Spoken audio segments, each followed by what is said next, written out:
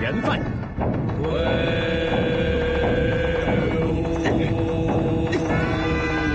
放开我！快放开我！放开我！弄得跟真的一样，你吓唬谁啊？启禀大人，人犯武三带到。跪下！唐铁生，你只是个小小的县官，根本不配问斩我。你凭什么摆这种阵仗？按照律法，就算真要问斩，也该层层转上去，偏转到刑部来定夺。你根本没有资格问斩我，这完全是僭越，是违法乱纪。你现在知道要把律法搬出来了，你要讲法，早该用在当时，而非现在。恭请上方宝剑，遵命。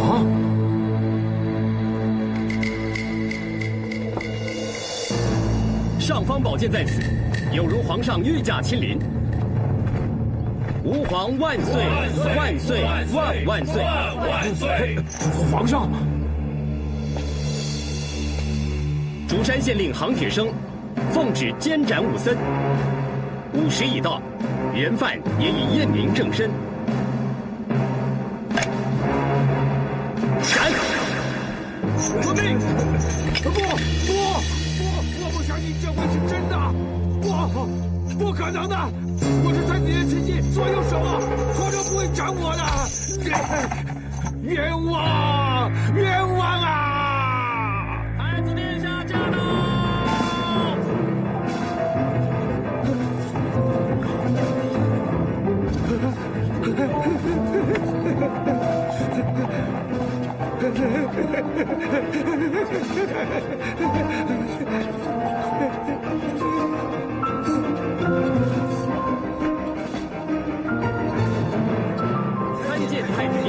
见太子殿下。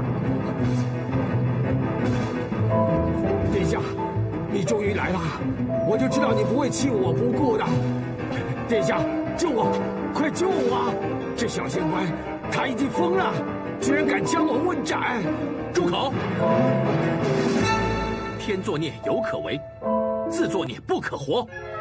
谁叫你们兄弟俩平日多行不义，彼此多方包庇维护，这是枉费本王一片爱才的苦心，如此栽培提拔你们，结果却差点误在你们的手上。现在将你问斩伏法，是皇上的旨意，天意难违，你也只有认了。什么？认了？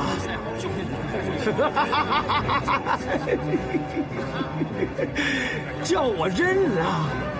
太子殿下英明！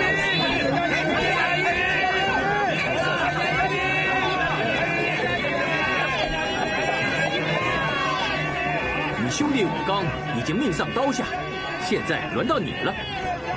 如此下场，也是罪有应得。唐大人，别让本王耽误了你，请行刑吧。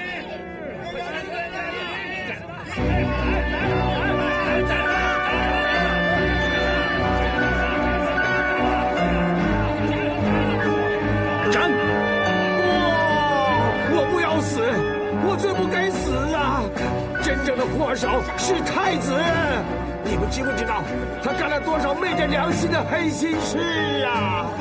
你们不要被他的伪善和假面给蒙骗了！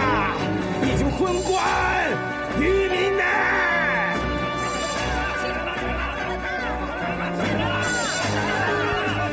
好你个太子爷，亏我们兄弟俩为你做牛做马，到头来落得个兔死狗烹！算你狠，你太阴险了！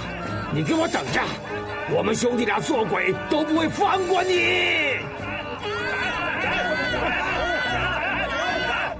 我诅咒你，诅咒你也不会有什么好下场的，你一定会遭到天谴的！